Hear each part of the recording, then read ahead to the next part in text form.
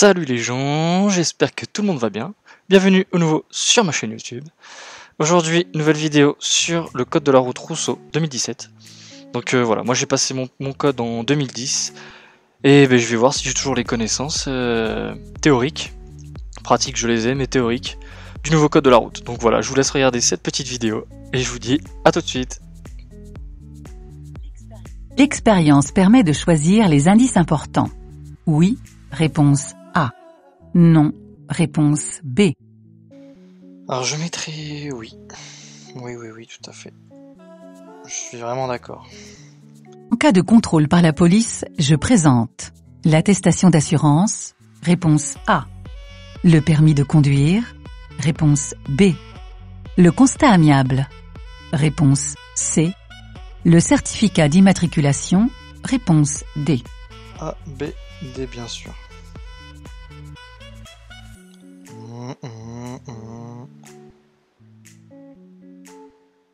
Hop. À quelle heure tu t'arrêtes? Je klaxonne. Oui, réponse A. Non, réponse B. Je ralentis. Oui, réponse C. Non, réponse D. Non plus. Parce qu'il roule plus vite que moi, donc euh, il est sur ma gauche, il me double, il roule plus vite. que je ralentis, il y a le camion derrière en plus. Attention. Le conducteur de la voiture rouge a fait le bon choix en ralentissant et en ne klaxonnant pas. Oui. Réponse A. Non. Réponse B. Ah non, c'est pas le bon choix. Faut klaxonner là, c'est un danger imminent. Le scout il coupe devant une ligne blanche qui attend pas quoi. L'absorption d'alcool entraîne le rétrécissement du champ visuel. Réponse A. Ouais. La diminution du temps de réaction. Réponse B. Ouais. La perturbation des gestes. Non. Réponse C. Du tout. L'ouverture de la portière est correcte. Oui. Réponse A. Non. Réponse B. Cas de choc, le responsable est le véhicule. Roulant, Réponse C. Garé. Réponse D. Alors la portière, l'ouverture. Euh, non, c'est pas bien, il y a une voiture qui arrive derrière. Et c'est le véhicule garé qui est responsable de son véhicule, car euh, bah, la petite Fiat, là, n'a pas la place de se serrer sur la droite, donc euh, pas attendre qu'un vent. Le dispositif GPS permet de réduire les erreurs de parcours. Oui.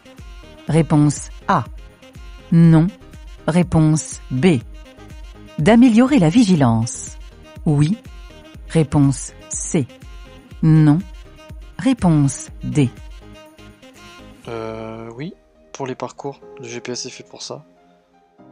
Et la vigilance, non, parce que t'as toujours un œil forcément sur le GPS, savoir si tu te trompes ou pas de route. Donc la vigilance est, est baissée. Mes balais d'essuie-glace sont à changer. Oui, réponse A. Non, réponse B. Ah, ils sont à changer d'extrême urgence, tes, tes essuie-glaces.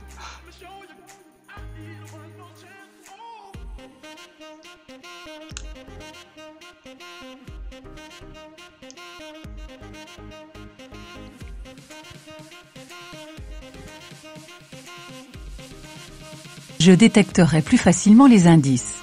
Vers l'avant. Réponse A. Vers l'arrière. Réponse B. Vers l'arrière, euh, la circulation arrive de derrière. Logiquement. Le ralenti. Oui. Réponse A. Non. Réponse B. Bien sûr, risque de verglas, je ralentis, mais si je suis à 50.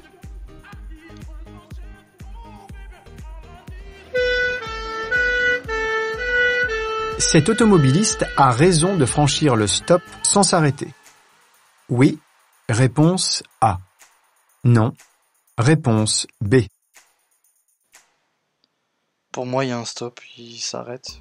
Parce que s'il y en a un qui sait qu'il y a un stop sur la voie principale, il, ben, va foncer. Et l'autre, il va pas forcément voir l'ambulance, et l'autre, il va lui couper devant. Cette installation présente un risque. Oui. Réponse A. Non. Réponse B.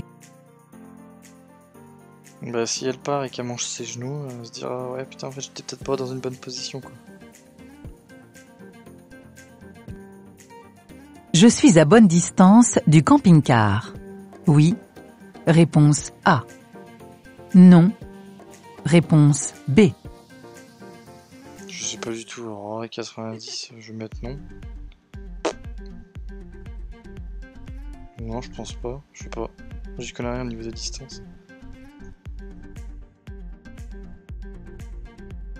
La consommation de carburant dépend des caractéristiques techniques du véhicule. Oui, réponse A. Non, réponse B. Du style de conduite adopté.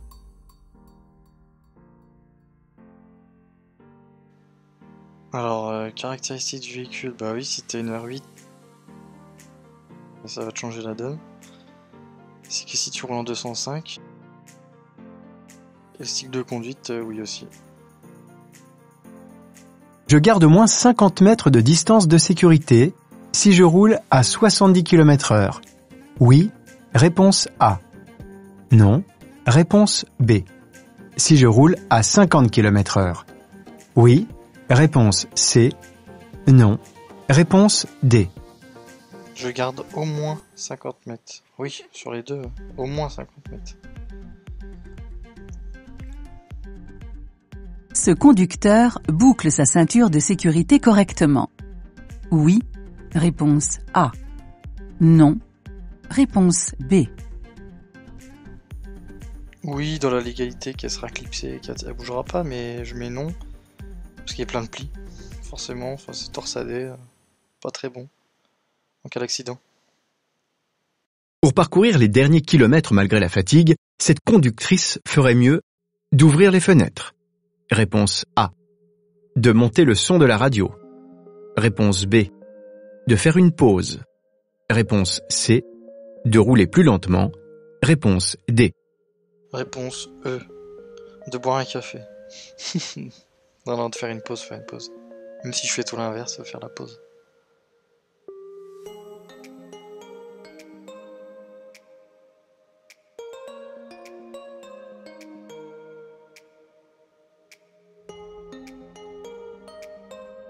Cet ouvrier crée une zone d'incertitude. Oui. Réponse A. Non. Réponse B. Je m'écarte. Oui. Réponse C. Non. Réponse D. Hum, créer une zone d'incertitude, bah, c'est quand même une personne qui est en train de travailler, donc je mets oui. Reste mobile. Je m'écarte un peu, oui. Logiquement, pour le danger. Avertisseur de changement de fil. Averti d'une sortie de voie involontaire. Réponse A. Signale un usager dans l'angle mort. Réponse B. Allume automatiquement le clignotant. Réponse C. Avertisseur de changement de fil. Avertit une sortie involontaire, non. J'allume automatiquement le clignotant. Moi, je suis obligé de sortir, donc... Euh, dans la question...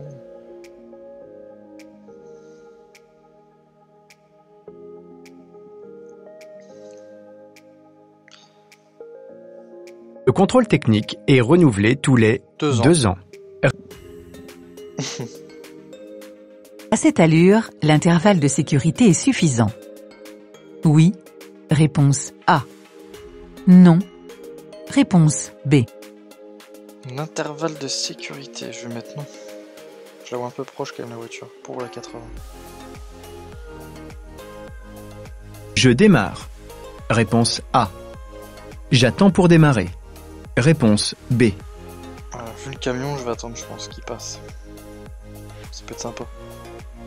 Pour stationner dans cette rue, je braque les roues contre le trottoir. Oui. Réponse A. Non. Réponse B. J'engage la marche arrière. Oui. Réponse C. Non. Réponse D. Alors je mets les roues côté trottoir, bah oui, normal. Ça évite que la voiture elle, s'en aille vraiment tout en bas. Et la marche arrière, bah non, je vois pas pourquoi il mettrait marche arrière. Tu mets une vitesse la première, mais tu mets pas de marche arrière. Je maintiens ma position. Réponse A. Je serre légèrement à droite. Réponse B. Je serre légèrement à gauche. Réponse C. Hmm, bah je bouge pas parce que je suis à l'arrêt, puis il y a des voitures partout et la moto elle attendra pour passer.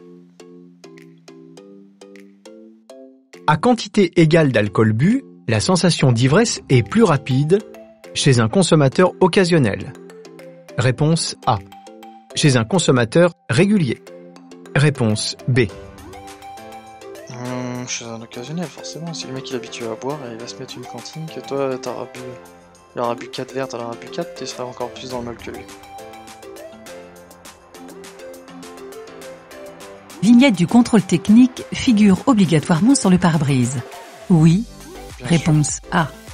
Non. réponse B. Sauf dans GTA. Moteur est coupé, la conductrice descend immédiatement du véhicule. Oui. Réponse A. Non. Réponse B. Alors dans la normalité des choses, en mode euh, pratique, moi je descends. Mais là, c'est la théorie, il faut faire gaffe quoi. Ce symbole aide à l'éco-conduite. Oui, réponse A. Non, réponse B. Je suis en sur-régime. Oui, réponse C. Non, réponse D. Alors personnellement, j'ai jamais vu ce, symbole-là. À mon avis, c'est une boîte de vitesse pour dire descendre, donc c'est que t'es en sous-régime et c'est pour l'éco-conduite, je pense. Et pas en sur-régime. Le sur-régime, ce serait rouge et faudrait passer une vitesse, donc une flèche au-dessus. J'allume les feux de détresse. Oui. Réponse A. Non. Réponse B. Alors moi je mets oui parce que je vois tout le monde freiner devant. Et je vois que derrière il y a quand même des gros camions, c'est quand même une deux fois deux voies qui doit être limitée au minimum à 110. Je le mets. Les renseignements sur le remplacement d'une roue se trouvent dans la notice d'utilisation. Oui. Réponse A. Non. Réponse B. Bah oui, je pense que. Et les femmes qui conduisent, ils savent pas forcément changer de nom. Cette conductrice qui tourne à droite a le temps de s'engager avant le tracteur. Oui. Réponse A. Non. Réponse B. Avant le tracteur, je pense. Mais avant la voiture qui double le tracteur, je pense pas. Le feu vient de s'allumer. J'accélère et je passe. Réponse A. Ou je m'arrête. Réponse B. Je vais peut-être pas arrêter. Hein. Un train, ça a toujours poussé une voiture. Une voiture, ça a jamais poussé un train.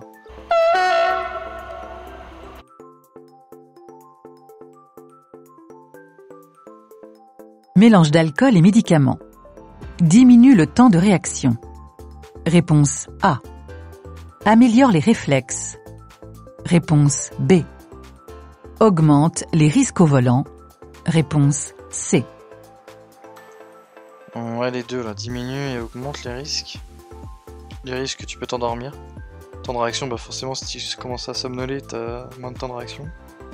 Et améliore le réflexe, bah y'a que la cocaïne hein, qui améliore les réflexes. Rien d'autre.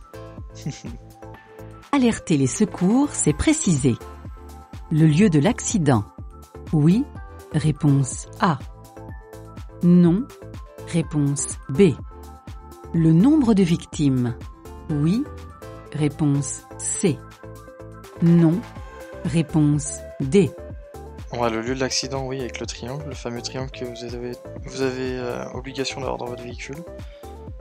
Et le nombre de victimes, bah vous voyez un peu ce qu'il y a dans les véhicules, au sol blessé, pas blessé. Aide au freinage d'urgence, affût. Actionne automatiquement les freins. Réponse A. Accentue le freinage. Réponse B. Déclenche l'antiblocage des roues. Réponse C. Alors je connais même pas ce que c'est l'affût déjà. Ça se trouve c'est les nouveaux modèles qui y a sur les voitures avec les détecteurs devant et ce qui fait que quand il y a un véhicule qui s'arrête d'un coup ça freine le vôtre. J'en sais rien du tout. Je continue le dépassement. Réponse A.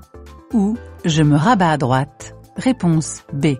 Bah, bien sûr que je bombarde, là, t'es fou. Y'a rien qui dit, c'est ligne toujours tout droit, la ligne. euh, Du moment que tu passes pas la ligne blanche de gauche, là t'es parti, là, pied dedans.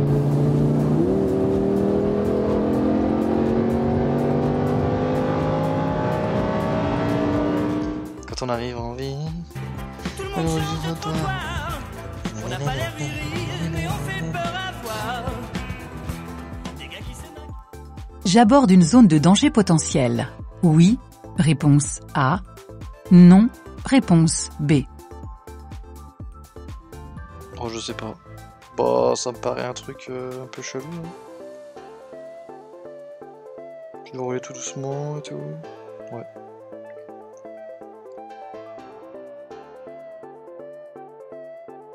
Lors d'un départ à froid, il est préférable de faire chauffer le moteur à l'arrêt?